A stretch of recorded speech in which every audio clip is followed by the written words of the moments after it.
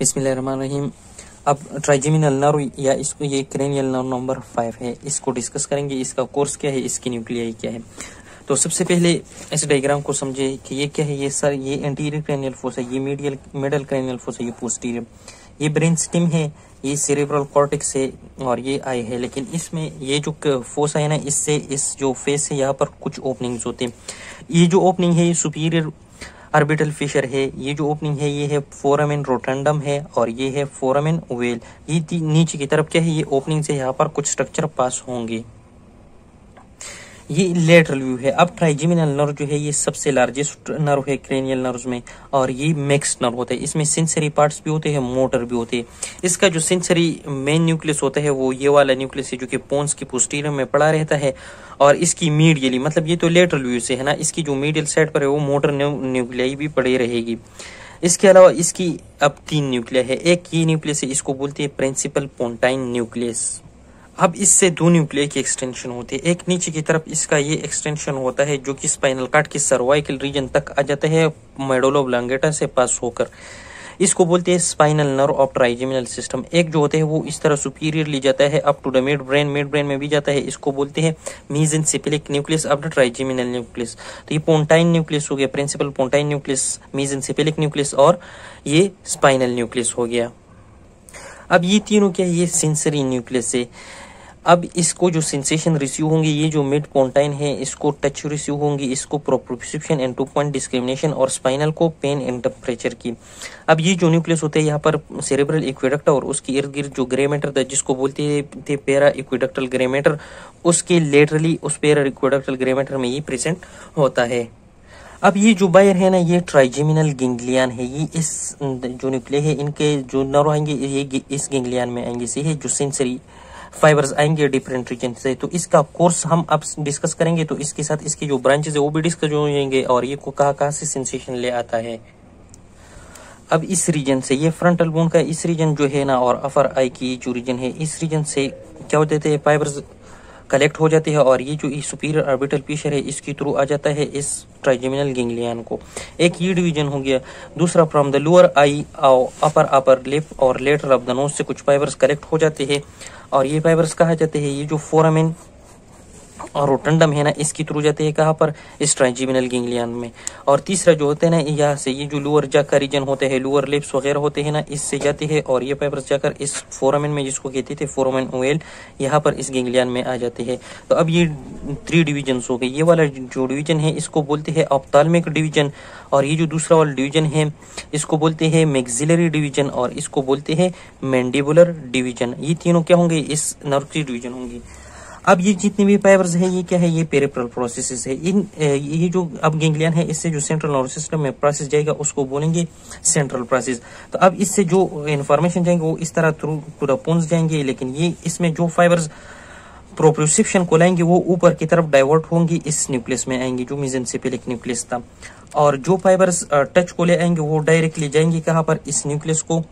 Touch and pressure both और इसके अलावा जो पेन एंड टेम्परेचर के फाइबर्स होंगे वो नीचे की तरफ़ डाइवर्ट होकर जो spinal nucleus of trigeminal system है, उनको आएँगे। अब ये जो ट्रैक्ट बना, इसको बोलते हैं spinal tract of trigeminal system अब ये तो सेंसेशन सेंसरी इन्फॉर्मेशन थी इन सब की। अब इसका जो मोटर सिस्टम होगा ना तो हम कहते हैं ना कि जो अप्तालमिक डिवीज़न है, ये टोटली सेंसरी है। मैक्सिलरी डिवीज़न भी टोटल सेंसरी है, और ये जो मैंडिबल डिवीज़न है, ये सेंसरी के साथ, इसके साथ मोटर फाइबर्स भी आती है, लेकिन वो मोटर सिस्टम के साथ डिस्कस करेंगे। अब इस गिंगलियन को क्या बोलते हैं? इसको सिमिलियनर गिंगलियन भी बोलते हैं, ट्राइजिमिनल गिंगलियन में इसमें कुछ फाइबर एसेंड हो जाते हैं, इस न्यूक्लियस को कुछ डिसेंड हो जाती है, स्पाइनल न्यूक्लियस को आ जाते हैं, कुछ डायरेक्टली यहाँ पर आए। अब इन सारी न्यूक्लियाई से कुछ फाइबर इस तरह पोस्टीरियर निकल जाते हैं, इस तरह। और ये फाइबर्स पीछे की तरफ़ एक ट्रैक्ट बना देते हैं, इसको बोलते हैं ट्राइजिमिनल लिमिनेस्कस, और ये जाते हैं हमारे तेलेमस में वेंट्रल पोस्ट्रोमीडियल न्यूक्लियस में। अब ये जो वेंट्रोपोस्टोमीडियल न्यूक्लियस में गई उससे फिर थ्रू इंटरनल कैप्सूल पास हो जाते हैं, कहाँ पर? पोस्ट सेंट्रल गायरस जो कि सेंसरी कार्टिक्स थे वहाँ पर। तो इसको ट्राइजेमिनल लिमिनिस्कस भी बोलते हैं और इसके अलावा इसको दूसरा नाम ट्राइजेमिनो तेलेमिक ट्रैक्ट भी बोलते हैं। अब दूसरी बात यह कि ये जो अपतालमिक डिवीज़न सेंसरी इंफॉर्मेशन ले आए थे, इसके फाइबर्स जाएँगी स्पाइनल न्यूक्लियस की इंफीरियर पार्ट पर। जो मैग्जिलरी ये फाइबर्स लाएँगे, वो स्पाइनल न्यूक्लियस के मिडल पार्ट पर इन होंगे और जो मैंडिबुलर सेंसरी फाइबर्स लाएँगे, वो इस superior part of the spinal nucleus पर एंड होंगे। अब एक और पॉइंट ये है कि यहाँ पर कि, कि, कि, किस तरह ये प्रोपोसिटिव इन्फॉर्मेशन भी लाती थी पेन एंड टेम्परेचर भी और टच भी। जो पेन एंड टेम्परेचर और टच जो फाइबर्स रहती है उनकी जो सिल बॉडी होंगी ना वो इस ट्राइजिमिनल गिंगलियन में होंगी। लेकिन जो फाइबर्स प्रोपोसिटिव इन्फॉर्मेशन लाएँगे उसका गिंगलियन यहाँ पर नहीं है। वो उसका पेरिफेरल प्रोसेस ही डायरेक्टली इसके अंदर जाकर कहा जाता है इस मिजेंसिपेलिक न्यूक्लियस पर। और इस मिजेंसिपेलिक न्यूक्लियस पर भी पर ही इसका क्या रहता है? इसका जो गेंगलियन है, वो यहाँ पर होता है और इसका ये पेरेपल प्रोसेस यहाँ तक आते हैं। फिर इसका सेंट्रल प्रोसेस क्या कहते हैं? फाइबर्स देते हैं इस ट्राइजेमिनल लेमिनिस्कस को।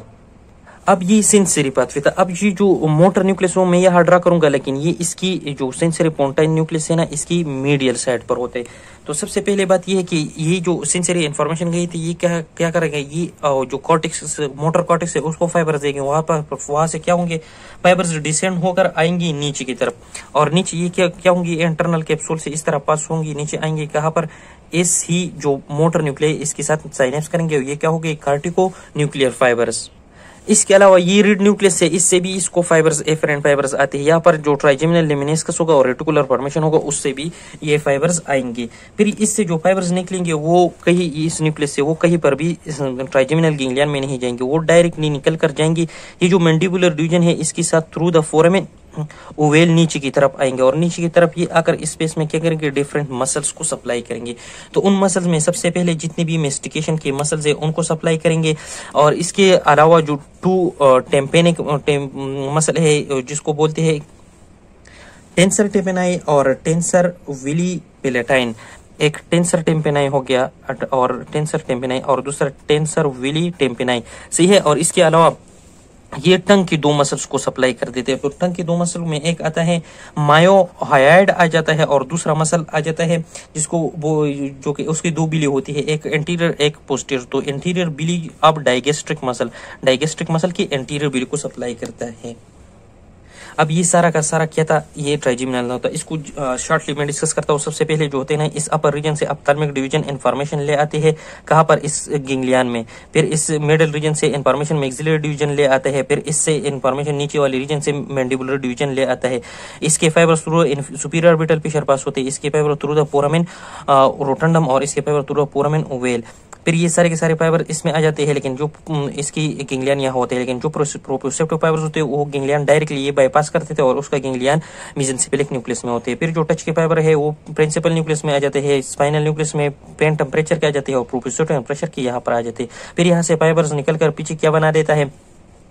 ट्राइजिमिनल लिमिनिस्कस फिर वो थैलेमस के वन पोस्ट मेडियल न्यूक्लियस में आ जाती है, फिर तुरंत इंटरनल कैप्सूल जाती है, पोस्ट सेंट्रल गायरस में वहाँ जो सेंसरी कार्टिक्स होते हैं, फिर वहाँ से इन्फॉर्मेशन कहा जाती है, जो कि मोटर कार्टिक्स होते हैं, वहाँ पर मोटर कार्टिक्स से तुरंत कार्टिको न्यूक्लियर फाइबर्स आ जाते हैं, यहाँ पर ट्राइजिमिनल सिस्टम की मोटर न्यूक्लियस को सही है, फिर रोब्रोस्पाइनल और रेटिकुलर फॉर्मेशन भी इसको फाइबर्स दे देती है, फिर इसकी जो मोटर फाइबर्स वो निकल कर जाती है, the mandibular division of sensory system.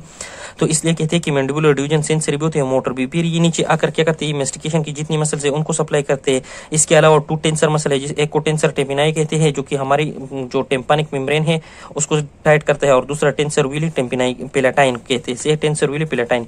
फिर इसके अलावा दो हमारे टंग के मसल है एक डाइगेस्ट, डाइगेस्ट्रिक मसल है, और दूसरा जो है, वो मायोहाइड मसल है इनको सप्लाई करते हैं। तो ये ट्राइजिमिनल नर्व था और ट्राइजिमिनल सिस्टम था। अल्लाह हाफिज़।